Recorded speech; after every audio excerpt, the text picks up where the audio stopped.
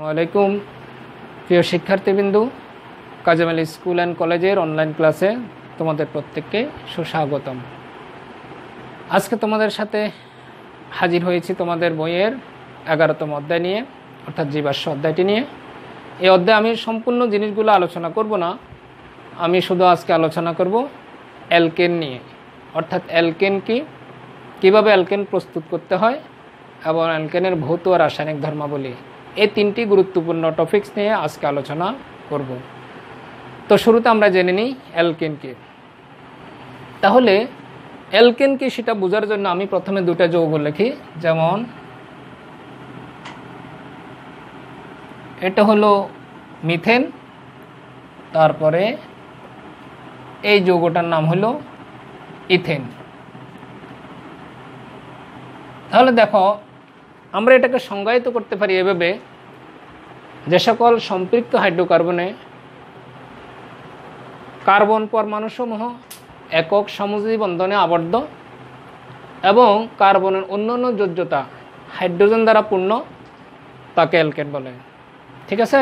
আমি আবার বলছি, যে সকল সম্পৃক্ত হাইড্রোকার্বনে কার্বন পরমাণুসমূহ একক সমুজী বন্ধনে আবদ্ধ থাকে এবং কার্বনের যে আরও যোজ্যতা আছে, অর্থাৎ কার্বনের যোজনিত চার, চারের মধ্যে যদি একটি কার্বনের সাথে কার্বনে আবদ্ধ থাকে, বাকিগুলো হাইড্রোজেন দ্বারা পূর্ণ থাকবে।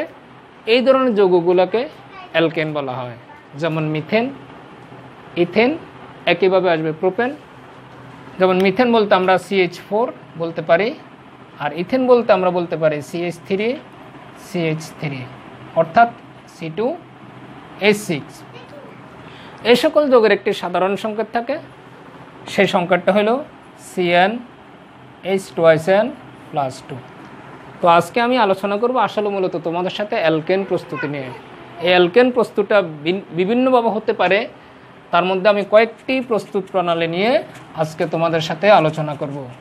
শুরুতে আসো। এক নম্বর প্রস্তুতিটা হলো, যেমন কার্বনের দুটি অক্সাইড আছে। একটি হলো কার্বন মনোঅক্সাইড অন্যটি হলো কার্বন ডাই অক্সাইড এই দুটি অক্সাইডের সাথে যদি আমরা যেমন কার্বন মনোঅক্সাইড এবং কার্বন ডাইঅক্সাইড, এই দুটি কার্বনের অক্সাইডের সাথে যদি আমরা হাইড্রোজেন গ্যাস কি করে? নিকেল প্রবাহকের উপস্থিতিতে, নিকেল প্রবাহকের উপস্থিতিতে দুইশো পঞ্চাশ ডিগ্রি সেলসিয়াস তাপমাত্রা কি করি? উত্তপ্ত করি। তাহলে কি হবে? অ্যালকেন তথা মিথেন উৎপন্ন হবে। মিথেন প্লাস এখানে হবে পানি, এখানে হবে মিথেন প্লাস কি? পানি। ঠিক আছে? তো এটাকে সমতাকরণ করলে আমরা প্রথমে এখানে তিন দিতে পারি। তিন দিলে হাইড্রোজেন হলো ছয়টা। এখানে কয়টা আছে? চারটা, চারে দুইটা ছয়টা। ঠিক আছে? আর এটাকে যদি আমরা সমতা করতে হয়, তাহলে কি করতে হবে? এখানে একটা চার দিলে হাইড্রোজেন হলো চারটা, চার দুগুণ আটটা, আর এখানে চার, এখানে দুই। ঠিক আছে? এটা খুব সহজ একটি প্রস্তুত প্রণালী।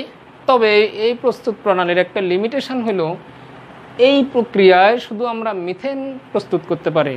অন্যান্য অ্যালকেন সমূহ যেমন ইথেন প্রোপেন বিউটেন ফ্যান্টেন ইত্যাদি অ্যালকেনসমূহ আমরা চাইলে প্রক্রিয়া প্রস্তুত করতে পারি না। তাই আমরা আরও একটি প্রস্তুত প্রণালী নিয়ে এখন আলোচনা করব। দুই নম্বর প্রস্তুত প্রণালী। দুই নম্বর প্রস্তুত প্রণালীটা খুব ইম্পর্টেন্ট একটি প্রস্তুত প্রণালী, সেটা হলো ডিকার্বক্সিলেশন বিক্রিয়া। তো আসো প্রথমে জেনে নিই ডিকার্বক্সিলেশন বিক্রিয়াটাকে ডি কার্বক্সিলেশন বিক্রিয়া। বিক্রিয়ার সাহায্যে আমরা অ্যালকেন প্রস্তুত করব। এই ডিকার্বক্সিলেশন বিক্রিয়াটা হলো ফ্যাটি অ্যাসিডের সোডিয়াম লবণকে সোডালাইম সহ উত্তপ্ত করলে এক কম কার্বন বিশিষ্ট অ্যালকেন উৎপন্ন হয়। আমি একটু লিখে দিচ্ছি, সবাই দেখো। ফ্যাটি অ্যাসিডের সোডিয়াম লবণকে ফ্যাটি অ্যাসিডের সোডিয়াম লবণকে সোডালাইম সহযোগে উত্তপ্ত করলে সোডালাইম সহ উত্তপ্ত করলে এক কম কার্বন বিশিষ্ট, এক কম কার্বন বিশিষ্ট অ্যালকেন উৎপন্ন হয়। অ্যালকেন উৎপন্ন হয়। তো আসো ফ্যাটি অ্যাসিডটাকে আমরা প্রথমে একটু জেনে নিই। ফ্যাটি অ্যাসিড হলো একটি যৌগ যার সাধারণ সংকেত হলো আর সি ও এইচ এটা হলো ফ্যাটি অ্যাসিডের সংকেত। এই ফ্যাটি অ্যাসিডের সোডিয়াম লবণ যখন বলব, তা সোডিয়ামের সাথে যখন এটা বিক্রিয়া করবে, তখন তার এই হাইড্রোজেনটা কী হবে? সোডিয়াম দ্বারা প্রতিস্থাপিত হয়ে, অর্থাৎ সোডিয়াম অর্থাৎ ফ্যাটি অ্যাসিডের সোডিয়াম লবণ, যেটা আমরা বলব আর সি ও এন এ এই ফ্যাটি অ্যাসিডের সোডিয়াম লবণকে আমরা যখন সোডালাইম সোডালাইম বলতে বোঝানো হচ্ছে যে সোডিয়াম হাইড্রোক্সাইড এবং ক্যালসিয়াম অক্সাইডের মিশ্রণকে বলা হয় কি? সোডালাইম তাহলে আসো ফ্যাটি অ্যাসিডের সোডিয়াম লবণ যেমন আর C O O N A তার সাথে যদি আমরা সোডালাইম অর্থাৎ সোডিয়াম হাইড্রোক্সাইড এবং ক্যালসিয়াম অক্সাইড এর মিশ্রণকে উত্তপ্ত করি, তাহলে কার্বন সংখ্যা এক কমে এবং অ্যালকেন উৎপন্ন হবে। তাহলে মনে রাখতে হবে, এই বিক্রিয়াটা দেখো, সবাই ভালো করে মনে রাখবার সহজভাবে মনে রাখার যে কৌশলটা, সেটা হলো এইখানের এই অংশটুকু একসাথে যুক্ত হয়ে যাবে। তাহলে যদি যুক্ত হয়, তাহলে আমরা পাবো কি? Sodium carbonate. যেমন দেখো N A two C O আছে কয়টা? তিনটা। তো আমরা পাচ্ছি N A two CO three আর এইখানে যে অবশিষ্ট হাইড্রোজেনটা রয়েছে, এই হাইড্রোজেনটা এখানে আসি অ্যালকাইল অংশের সাথে যুক্ত হয়ে কি হয়ে যাবে? অ্যালকিন হয়ে যাবে। তার মানে হলো আর এইচ এটা হলো অ্যালকেন। এটা হলো কি? অ্যালকেন। এবার আসো আমরা একটু উদাহরণের মাধ্যমে ব্যাপারটা আর একটু পরিষ্কার করি। যেমন একটু উপরে লিখি।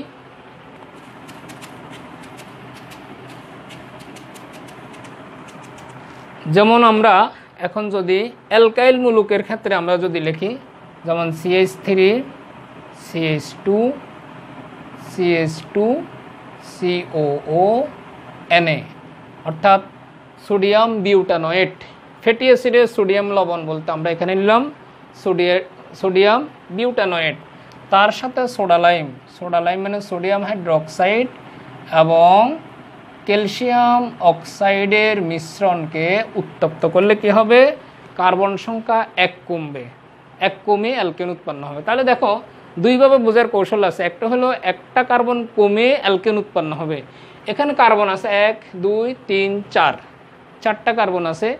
একটা কার্বন যদি কমে যায়, তাহলে হবে তিনটা কার্বন। এবং তিন কার্বন বিশিষ্ট যে অ্যালকেন, সেটির নাম হলো কি? প্রোপেন। তাহলে প্রোপেন উৎপন্ন হবে, সাথে সোডিয়াম কার্বনেট উৎপন্ন হবে। আরেকভাবে মনে রাখার কৌশল যেটা দেখাইছিলাম তোমাদেরকে, যে এইখানে এইখানে দেখো, এই অংশটুকু এই অংশটুকু একসাথ হয়ে যাবে। এখানে একসাথ হয়ে কি হবে? সোডিয়াম কার্বনেট হবে। কি হবে? Sodium carbonate N A two CO three তারপরে দেখো, এই হাইড্রোজেনটা এই হাইড্রোজেনটা অ্যালকাইল অংশের সাথে যুক্ত হয়ে যাবে। তো দাঁড়াচ্ছে কি? সিএইচ থ্রি সিএইচ টু এবং এই এইচ যখন এই সিএইচ টুর সাথে যুক্ত হবে, তখন হবে সিএইচ থ্রি অর্থাৎ প্রোপেন। কী হবে? প্রোপেন উৎপন্ন হবে। সবাই একটু ভালো করে লক্ষ্য করো, আমি এটার নাম হলো সোডিয়াম বিউটানয়েট বিউটানয়েট বিক্রিয়াটা আর একবার একটু বোঝার চেষ্টা করো। এই যে ফ্যাটি অ্যাসিডের সোডিয়াম লবণকে যখন সোডালাইম সহযোগ উত্তপ্ত করব, তাহলে দেখবে অ্যালকাইল অংশ বাদে বাকি যে অংশটা আছে, পুরাটা সোডিয়াম হাইড্রোক্সাইডের শুধু হাইড্রোজেন ব্যতীত পুরো অংশটা একসাথে যুক্ত হয়ে গেলে হবে সোডিয়াম কার্বনেট। এখানে যে হাইড্রোজেনটা আছে সেই হাইড্রোজেনটা অ্যালকাইল অংশের সাথে যুক্ত হয়ে কী হবে? অ্যালকেন হবে। তাহলে দেখো, এখানে আমরা যে সোডিয়াম বিউটানোয়েট নিলাম, এই সোডিয়াম বিউটানোয়েটের সাথে যখন ফেটি সোডা লাইমকে আমরা উত্তপ্ত করলাম, তাহলে দেখো, এতটুকু অংশ একসাথে হয়ে যাবে। একসাথে হয়ে কী হবে? সোডিয়াম কার্বনেট এবং এই হাইড্রোজেনটা অ্যালকাইল অংশের সাথে যুক্ত হয়ে কী হবে? CH three CH two CH three. আরেকভাবে বোঝার কৌশল আমি বলেছিলাম যে, এখানে মূল কার্বন শিকলে মূল শিকলে অর্থাৎ যতটা কার্বন থাকে, তার থেকে একটি কার্বন কমে অ্যালকেন উৎপন্ন হবে। যেমন এখানে, যেহেতু সোডিয়াম বিউটানয়েড, তাহলে কার্বন আছে কয়টা? চারটি কার্বন। এক, দুই, তিন, চার। তো চারের কার্বন থেকে একটি কার্বন কমবে এবং একটি কার্বন কমলে হবে আর তিন কার্বন। এবং এই তিন কার্বন বিশিষ্ট যে অ্যালকেনটা, সেটার নাম হলো প্রোপেন। তুমি সহজে চাইলে ওইভাবে লিখে দিতে পারো যে কার্বন সংখ্যা এক কমে যে অ্যালকেনটা হবে, সে অ্যালকেনটা তুমি সরাসরি বসিয়ে দিতে পারো এবং অলওয়েজ এখানে সোডিয়াম কার্বনেট উৎপন্ন হবে। তাহলে মনে রাখতে হবে, এখানে তোমাকে যে যৌগটা প্রস্তুত করতে হবে, যদি তোমাকে প্রোপেন প্রস্তুত করতে হয়, তাহলে সাইর কার্বন বিশিষ্ট ফ্যাটি অ্যাসিডের সোডিয়াম লবণ নিতে হবে, অর্থাৎ সোডিয়াম বিউটানয়েড একইভাবে যদি তোমাকে ইথেন প্রস্তুত করতে হয়, তাহলে তিন কার্বন বিশিষ্ট ফ্যাটি অ্যাসিডের সোডিয়াম লবণ নিতে হবে, যেমন সোডিয়াম প্রোপানয়েড। ঠিক আছে? যদি তোমাকে মিথেন প্রস্তুত করতে বলে, তাহলে দুই কার্বন বিশিষ্ট ফ্যাটি অ্যাসিডের সোডিয়াম লবণ, যেমন সোডিয়াম ইথানোয়েট নিতে হবে। ঠিক আছে? এইভাবে এই বিক্রিয়া, অর্থাৎ যেহেতু এই বিক্রিয়া কার্বন সংখ্যা এক কমে, এজন্য এটাকে আসলে ডিকার্বক্সিলেশন বিক্রিয়া বলা হয়। খুবই চমৎকার একটি বিক্রিয়া। চাইলে আমরা এই বিক্রিয়ার সাহায্যে যে কোনো অ্যালকেন আমরা কি করতে পারি? প্রস্তুত করতে পারি। এবার আসো, আরও ইম্পর্টেন্ট একটি বিক্রিয়া আছে, যেটা হলো উডস বিক্রিয়া। এই উডস বিক্রিয়াটা তোমাদের বইয়ে নেই, তারপরও আমি আলোচনা করছি। খুবই ইম্পর্টেন্ট আসলে তোমাদের আসলে কিছু জিনিস, দুই একটা জিনিস বইয়ের বাইরের থেকেও জানার দরকার হয়। কিছু কিছু সময় আমাদের এই জিনিসগুলো জানাটা আসলে অত্যাবশ্যক হয়ে পড়ে। জেনে নিলে দোষের কিছু নেই। খুব সহজ। আমি সহজ করে বুঝিয়ে দিচ্ছি। সবাই মনোযোগ দিয়ে দেখো। সেটা হলো উডস বিক্রিয়া। এখন আমরা অ্যালকেন প্রস্তুতির যে তিন নম্বর প্রস্তুতি, সেটা আলোচনা করব। তো আসলে জেনে নিই উডস বিক্রিয়াটা কি। উডস বিক্রিয়াটা আসলে নামকরণ হয়েছে উদ্ভাবকের নাম অনুসারে। তো প্রথমে আমরা জেনে উডস বিক্রিয়াটা কি। উডস বিক্রিয়া হইল অ্যালকাইল হ্যালাইডকে অ্যালকাইল হ্যালাইডকে শুষ্ক ইথারের উপস্থিতিতে শুষ্ক ইথারের উপস্থিতিতে সোডিয়াম সহ উত্তপ্ত করলে, সোডিয়াম সহ উত্তপ্ত করলে দ্বিগুণ কার্বন বিশিষ্ট অ্যালকেন উৎপন্ন হয়। দ্বিগুণ কার্বন বিশিষ্ট অ্যালকেন উৎপন্ন হয়। বিশিষ্ট কি হবে? অ্যালকেন উৎপন্ন হবে। অর্থাৎ এখানে নিম্ন শিকল থেকে উচ্চ শিকলের কার্বন সংখ্যা বিশিষ্ট অ্যালকেন কি হবে? উৎপন্ন হবে। তো আসো, প্রথমে আসো অ্যালকাইল হ্যালাইড। অ্যালকাইল হ্যালাইড, এই অংশটাকে আমরা বলি অ্যালকাইল মূলক। আর হ্যালোজেনের সাধারণ সংখ্যা হলো এক্স তাহলে আর এক্স যেটা আছে, এটাকে আমরা বলি অ্যালকাইল হ্যালাইড। এই অ্যালকাইল হ্যালাইডকে যখন আমরা শুষ্ক ইথারের উপস্থিতিতে কি করব? শুষ্ক ইথার। এই ইথারের উপস্থিতিতে যখন আমরা উত্তপ্ত করব, তখন কি হবে? উচ্চতর অ্যালকেন উৎপন্ন হবে, অর্থাৎ দ্বিগুণ কার্বন বিশিষ্ট অ্যালকেন উৎপন্ন হবে। আমাদের বিক্রিয়কে যতটা কার্বন থাকবে, উৎপাদে তার দ্বিগুণ সংখ্যক বিশিষ্ট কি হবে? অ্যালকেন উৎপন্ন হবে। তাহলে আসো, প্রথমে আমরা এই বিক্রিয়াটা সম্পন্ন করি। এই বিক্রিয়াটা খুব ইজি দেখো। এই এক্স এবং সোডিয়াম এই দুইটা অংশ কি হয়ে যাবে? যুক্ত হয়ে যাবে। তাহলে থাকলেও কি? আর এখানে আর একটা আর আসবে প্লাস কত? সোডিয়াম হ্যালাইড এটা হলো উডস বিক্রিয়া। এই অংশটার নাম হলো অ্যালকেন এটার নাম হলো কি? অ্যালকেন তাহলে দেখো এই যে অ্যালকেন যে অংশটা, এটা বলছিলাম দ্বিগুণ হয়ে যাবে। যেহেতু এখানে অ্যালকাইল মূলকে একটা আর আছে তাহলে উৎপাদে গিয়ে কী হয়ে যাবে? ডাবল হয়ে যাবে। অর্থাৎ অ্যালকেন উৎপন্ন হবে। আবার আসো আমরা বিষয়টা একটু উদাহরণের মাধ্যমে স্পষ্ট করতে চাই। যেমন অ্যালকাইল মূলক হিসেবে যদি আমি মিথাইল মূলক নিই, যেমন সিএস থ্রি এবং হ্যালোজেন হিসেবে যদি আমি আয়োডিন নিই, তার সাথে যদি সোডিয়াম সহ আমরা কি করি? ড্রাই ইথার অর্থাৎ শুষ্ক শুষ্ক ইথার। এর উপস্থিতিতে যদি আমরা উত্তপ্ত করি, তাহলে কি হবে? দ্বিগুণ কার্বন বিশিষ্ট অ্যালকেন উৎপন্ন হবে। খুব ভালো করে মনে রাখবে। তুমি যদি কি বলে, উডস বিক্রিয়াটা কি, এটা যদি তুমি মনে রাখতে পারো, তাহলে কিন্তু তোমার যেটা উৎপন্ন হবে সেটা তুমি খুব সহজে লিখতে পারবা। যেমন দ্বিগুণ সংখ্যক কার্বন বিশিষ্ট অ্যালকেন উৎপন্ন হবে, এখানে কার্বন আছে একটা তাহলে একের ডাবল দুই, অর্থাৎ দ্বিগুণ। দ্বিগুণ সংখ্যক কার্বন বিশিষ্ট অ্যালকেনের নাম হলো ethane CH three CH three ঠিক আছে? আর একটু আগে বলছিলাম যে এই অংশটা কি হয়ে যাবে? সবসময় একসাথ হয়ে যাবে। তাহলে হবে কি? সোডিয়াম আয়োডাইড আর এটাকে যদি আমরা একটু ব্যালেন্স করি, তাহলে এখানে একটা দুই দিতে হবে, আর এখানে একটা দুই দিতে হবে। ঠিক আছে? তাহলে এখানেও একটা কি দিতে হবে? দুই দিতে হবে। এখানে একটা দুই আর এখানে একটা দুই দিতে হবে। তাহলে এটার নাম হলো উডস বিক্রিয়া। কি বলছিলাম? উডস বিক্রিয়া। অর্থাৎ উডস বিক্রিয়ার সাহায্যে আমরা কি করি, কি করতেছি? অ্যালকেন উৎপন্ন করতেছি। এক্ষেত্রে মনে রাখতে হবে যে, যেহেতু দেখো, এই ডাবল হয়ে যাচ্ছে, অর্থাৎ জোর কার্বন বিশিষ্ট অ্যালকেন উৎপন্ন হচ্ছে, এজন্য এটাকে বলা হচ্ছে নিম্ন শিকল থেকে উচ্চ শিকল বিশিষ্ট অ্যালকেন প্রস্তুত করার প্রক্রিয়া। আরেকটা উদাহরণ দিই আমরা। তাহলে এটার নাম হলো কি? ইথেন। আরেকটা উদাহরণ দিই যেমন সিএইচ থ্রি সিএইচ টু আমরা হ্যালোজিন হিসাবে এখন ক্লোরিন বা ব্রুমিন নিতে পারি। যেমন নিলাম, মনে করো, ব্রুমিন। তাহলে ইথাইল ব্রোমাইডকে আমরা সোডিয়াম সহ শুষ্ক ইথারের উপস্থিতিতে কি করব? উত্তপ্ত করব। শুষ্ক ইথারের উপস্থিতিতে কি করব? উত্তপ্ত করব।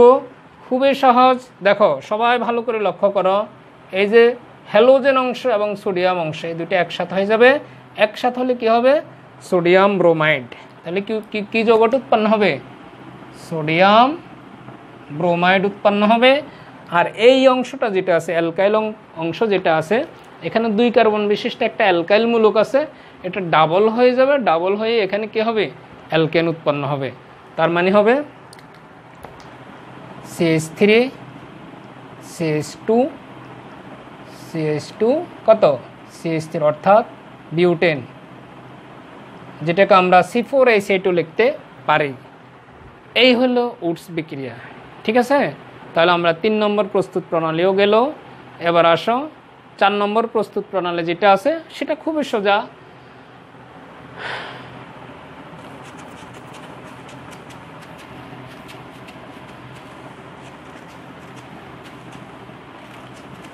চার নম্বর প্রস্তুত প্রণালীটা হলো অ্যালকিন অথবা অ্যালকাইন থেকে। অ্যালকিন অথবা অ্যালকাইন থেকে। এটা খুব সহজ, এটা তোমরা খুব ইজিলি পারবে। অ্যালকিন অথবা অ্যালকাইন থেকে। যেমন, অ্যালকিন বলতে আমরা বুঝি দ্বিবন্ধন বিশিষ্ট, কার্বন কার্বন দ্বিবন্ধন বিশিষ্ট, হাইড্রোকার্বন তার সাথে যদি আমরা হাইড্রোজেন যুক্ত করি, কি প্রভাবকের উপস্থিতিতে? নিকেল প্রভাবকের উপস্থিতিতে একশো আশি থেকে দুইশো ডিগ্রি সেলসিয়াস টেম্পারেচারে তখন কি হবে? দেখো, এখানে যে এইচ টু আছে, এটার মানে হলো এইচ এইচ এই দুইটা হাইড্রোজেন একটা আশি, এর সাথে যুক্ত হবে, আরেকটা এর সাথে যুক্ত হবে, ঠিক আছে?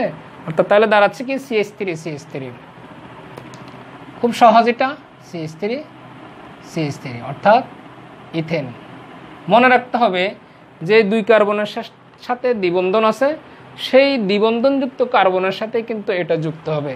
এখন আমি যদি এখানে প্রোটিন নিই, যেমন CH three CH double bond CH two তার সাথে হাইড্রোজেন দিলাম। নিকেল প্রভাবকের উপস্থিতিতে ওয়ান এইটি থেকে টু হান্ড্রেড ডিগ্রি সেলসিয়াস টেম্পারেচারে তাহলে দেখো এই দুইটা হাইড্রোজেন একটা যুক্ত হবে এখানে। ভালো করে লক্ষ্য করো, এই হাইড্রোজেন দুইটির একটি যুক্ত হবে কোথায়? এই কার্বনের সাথে আরেকটি যুক্ত হবে এই কার্বনের সাথে। অর্থাৎ যেখানে দ্বিবন্ধন আছে, দ্বিবন্ধন ভুক্ত যে কার্বনগুলো আছে, তাদের সাথে যুক্ত হবে। তাহলে দাঁড়াচ্ছে CH three CH two CH three, অর্থাৎ প্রোপেন। এই হলো অ্যালকেনের প্রস্তুত প্রণালীগুলা। এখন আমরা জানব অ্যালকেনের ভৌত ধর্ম এবং রাসায়নিক ধর্ম।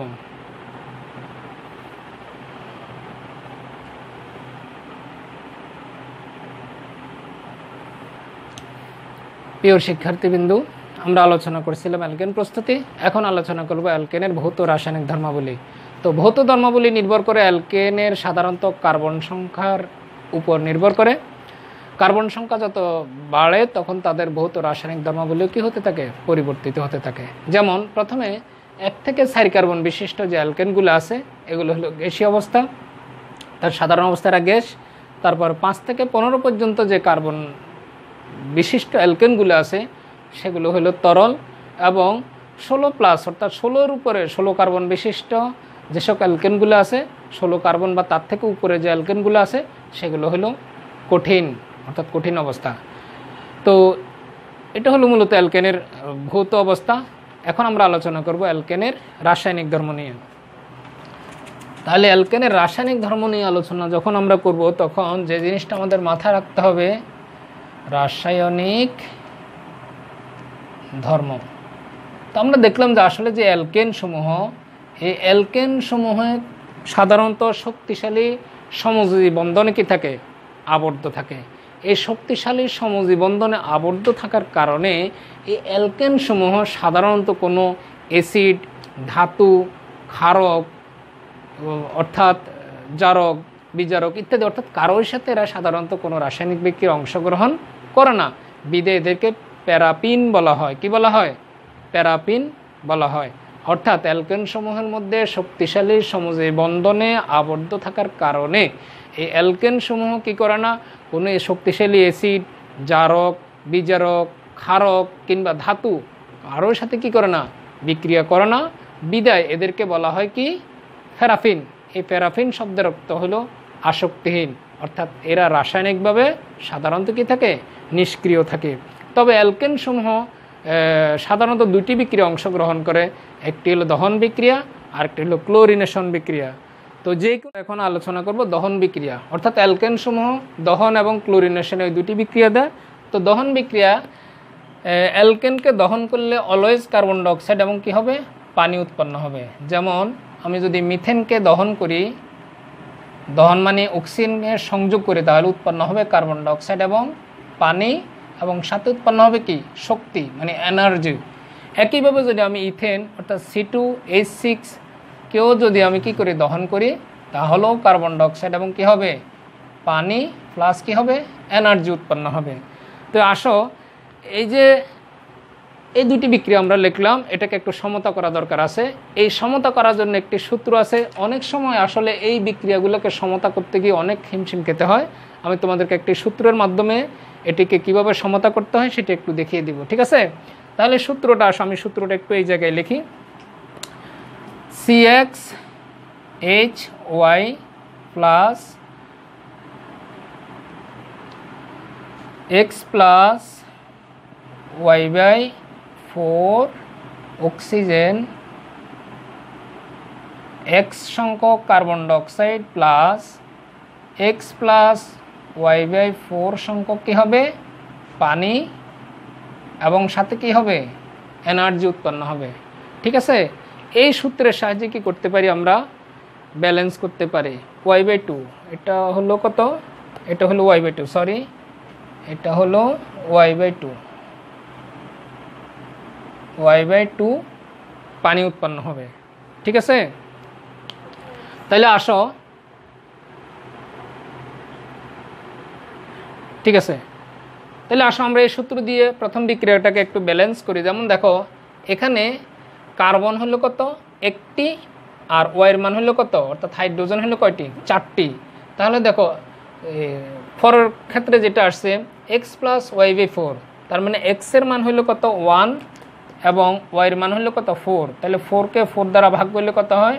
এখানে টু হয়। তার মানে আমরা যেটা দেখলাম অক্সিজেন হবে কত? দুই মূল। অর্থাৎ এখানে দুই মূল অক্সিজেন হবে। তারপরে আসো এক্স সংখ্যক কার্বন ডাইঅক্সাইড তো এক্সের মান যেহেতু এখানে এক, তাহলে আমাদের এক আর দিতে হবে না। এবার আসো, পানি কয় অনু উৎপন্ন হবে? ওয়াই বাই টু তো ওয়াইয়ের মান হলো কত এখানে? ওয়াইয়ের মান হলো এখানে ফোর দেখো C X H Y H Y মানে ওয়াইয়ের মান হলো কত? ফোর তার মানে ফোরকে যদি আমি দুই দিয়ে ভাগ করি, তাহলে হবে কত? দুই। তার মানে এখানে দুই মূল পানি উৎপন্ন হবে, সাথে এনার্জি উৎপন্ন হবে। একইভাবে দ্বিতীয় বিক্রিয়াটাকেও আমরা যদি ব্যালেন্স করি, তাহলে কি আসে দেখো, এই সূত্র দিয়ে, এই সূত্রটা খুব ইম্পর্টেন্ট তোমরা এই সূত্র দিয়ে খুব ইজিলি ব্যালেন্স করতে পারো। যেমন এখানে এক্সের মান হলো টু ওয়াইয়ের মান হলো কত? সিক্স তাহলে সি এক্স এইচ ওয়াই এবার আসো অক্সিজেন কত হবে? X plus Y by four তার মানে এক্সের মান হলো কত? Two plus Y by four ওয়াইয়ের মান হলো সিক্স নিশ্চয় হলো কত? ফোর এটাকে যদি আমরা ক্যালকুলেশন করি, তাহলে কত আসে? তাহলে আসলো এখানে দুই দিয়ে কাটলে হয় তিন, আর এটা কাট দুই। তার মানে দুই ভাগে দুই চার, তিন সাত। অর্থাৎ সেভেন বাই টু তার মানে অক্সিজেন হলো কত? Seven by two two mole এখানে অক্সিজেন হলো সেভেন বাই টু মোল এবার আসো কার্বন ডাইঅক্সাইড হলো কত? এক্স মোল এক্স মোল মানে এক্সের মান হলো কত? এখানে টু তার মানে কার্বন ডাইঅক্সাইড হবে দুই মোল এবং পানি কত মোল হবে? ওয়াই বাই টু ওয়াইয়ের মান হলো এখানে সিক্স সিক্সকে যদি আমরা টু দ্বারা ভাগ করি, তাহলে হবে থ্রি তার মানে পানি হবে তিন মোল, এবং সাথে কি হবে? শক্তি উৎপন্ন হবে। এইভাবে যে কোনো অ্যালকেনকে যদি তুমি দহন করো, তাহলে অলওয়েজ কার্বন ডাইঅক্সাইড এবং পানি উৎপন্ন হবে, এবং ব্যালেন্স করবে এই সূত্রটা দিয়ে। খুবই ইম্পর্টেন্ট একটি সূত্র, এটা দিয়ে খুব ইজিলি তুমি ব্যালেন্স করতে পারবে। তারপর আসো ক্লোরিনেশন বিক্রিয়া।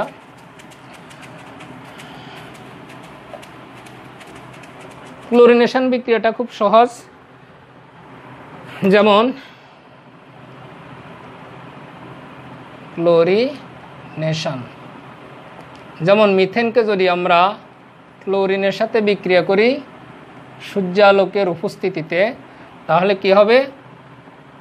CH three CL plus HCL অর্থাৎ মিথাইল ক্লোরাইড। মিথাইল কি? ক্লোরাইড। মনে রাখতে হবে এখানে যে দুইটি ক্লোরিন আছে, এই বিক্রিয়াটা আসলে একটু এভাবে দেখো, আমি তোমাদেরকে একটু বুঝিয়ে দিই। প্রতি ক্ষেত্রে একটি একটি হাইড্রোজেন কি হবে? প্রতিস্থাপিত হবে। ক্লোরিন মানে হলো সিএল সিএল ঠিক আছে? তাহলে বিক্রিয়া করলে কি হবে? এই ক্লোরিনটা এখানে ঢুকবে এবং এই হাইড্রোজেন আর এই ক্লোরিন মিলিয়ে এইচসিএল হবে। তাহলে কি দাঁড়াচ্ছে দেখো? এইচ এইচ এইচ থাকল, এখানে ক্লোরিন প্লাস এইচসিএল এভাবে মিথাইল ক্লোরাইড হলো। এবং এই মিথাইল ক্লোরাইডের সাথে যদি আমরা আবার ক্লোরিনের বিক্রিয়া করি, যেমন মিথাইল ক্লোরাইড প্লাস ক্লোরিন একই একই কন্ডিশন অর্থাৎ ইউভি রশ্মির উপস্থিতিতে যদি আমরা বিক্রিয়া করি, তাহলে আরও একটা হাইড্রোজেন প্রতিস্থাপিত হবে এবং একটা ক্লোরিন বাড়বে। তার মানে হবে CH two CL two plus HCL এটার নাম হলো ডাইক্লোরো মিথেন এবং পরবর্তীতে আবার এটাকে যদি আমরা আবার বিক্রিয়া করি ক্লোরিনের সাথে, তাহলে যেটা উৎপন্ন হবে, আরও একটা হাইড্রোজেন প্রতিস্থাপিত হবে আরও একটা ক্লোরিন ডুববে। তাহলে দাঁড়াচ্ছে কি? CH CL three plus HCL এটার নাম হলো টাইক্লোরো মিথেন আমি নামগুলো লিখে দেবো। এই টাইক্লোরো মিথেনকে যদি আবার আমরা কি করি? ক্লোরিনের সাথে ইউবি রশ্মির উপস্থিতিতে বিক্রিয়া করে, তাহলে সি সিএল ফোর প্লাস কী হবে? এইচসিএল উৎপন্ন হবে। তাহলে প্রথমটা যে যৌগটা আসলো, এটার নাম হলো methyl chloride methyl chloride methyl chloride তারপরে এটার নাম হলো ডাইক্লোরোমিথেন ডাই ক্লোরোমিথেন তারপরের নাম হলো ট্রাইক্লোরোমিথেন ট্রাই ক্লোরোমিথেন এবং সর্বশেষটা হলো টেট্রাক্লোরোমিথেন টেট্রা ক্লোরোমিথেন এই যে যৌগগুলো আছে, এই যৌগগুলোর এক একটার এক একটা ব্যবহার আছে। যেমন, এই যে মিথাইল ক্লোরাইড যেটা, এই মিথাইল ক্লোরাইডটা তোমার ব্যবহার হয় সাধারণত, এই অ্যালকোহল, অ্যালডিহাইড, জৈব অ্যাসিড প্রস্তুতিতে। তাহলে কি বলছিলাম? এই মিথাইল ক্লোরাইড কোথায় ব্যবহার হয়?